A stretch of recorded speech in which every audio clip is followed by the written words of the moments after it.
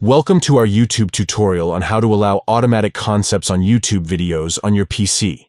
By enabling this feature, you can enhance the viewer experience and provide more context to your content.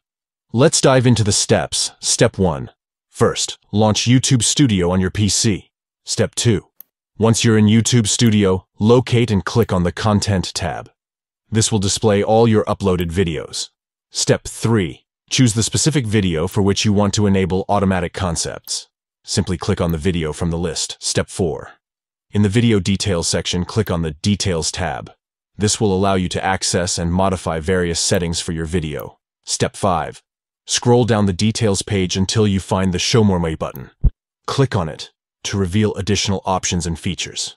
Step 6.